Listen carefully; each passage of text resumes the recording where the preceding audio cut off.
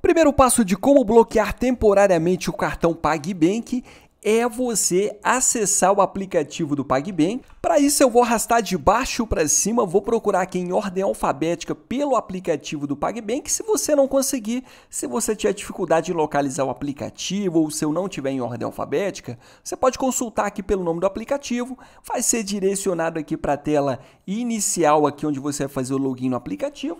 Né? Você pode colocar o PIN ou simplesmente tocar com a sua impressão digital se você tiver habilitado essa opção. Se você quiser habilitar a opção de impressão digital, estou deixando um link de uma playlist completa para você na descrição desse vídeo, tá certo? Aqui na tela inicial do aplicativo, você vai ter saldo no topo e na parte inferior você tem início, extrato, vendas, cartões. Aqui ao centro, as principais funcionalidades, como Pix, transferência, cartões, pagar contas, né?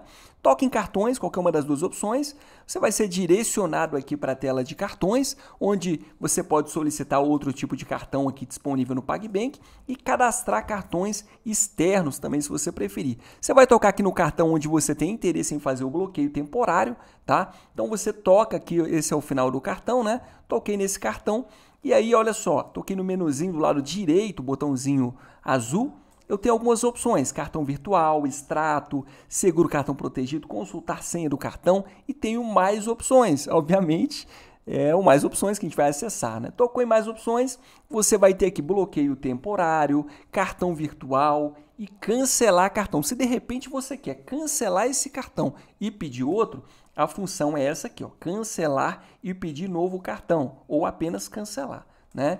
Se você quiser só cancelar e pedir outro, perdi o cartão, quero cancelar, pedir outro, é ali. Aí eu quero cancelar, bloquear temporariamente, porque eu vou bloquear, depois eu, eu desbloqueio. Então você vai tocar aqui em bloqueio temporário e aí vai ter esse reporte, olha só.